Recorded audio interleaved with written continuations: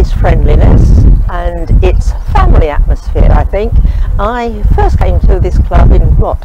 2001 something like that when it was Finchley Victoria Ladies Bowling Club and have stayed with it right through its various manifestations right up until now when it's Bowling and Croquet Club indeed. Um, but the whole of that time it has been the friendliness and of course the outdoor enjoyment and exercise of course and the fact that everybody cares for everyone else. This is what is so nice about it that you very often don't find in large clubs uh, because they're so large and you don't know everybody whereas here everybody knows everybody else and that uh, if anybody's in problems they're there, other members are there to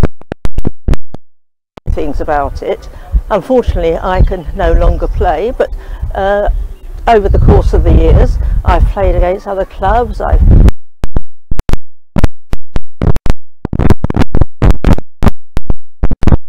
as much as anywhere, as well as Middlesex.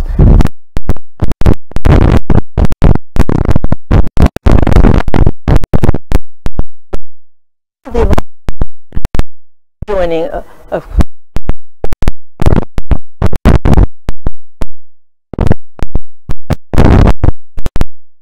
people are all very friendly but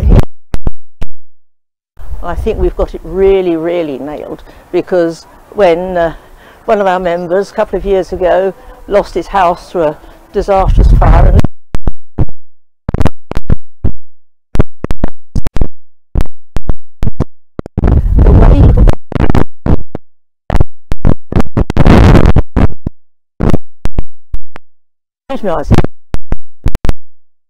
and that's why I enjoy being